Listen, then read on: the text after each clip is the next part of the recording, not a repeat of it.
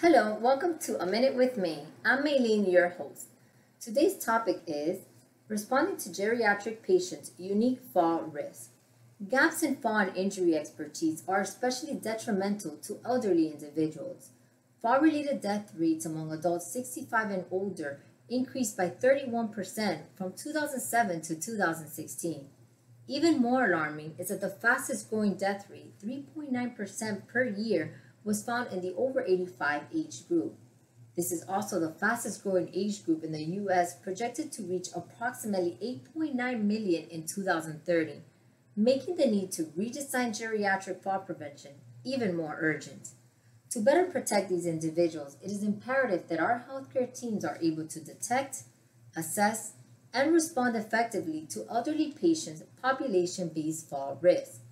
Age related issues requiring special attentions include number one, delirium, confusion, gait and balance deficit.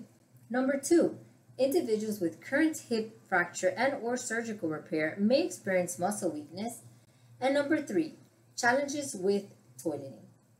At 24-7 nursing care, we take fall risk very seriously.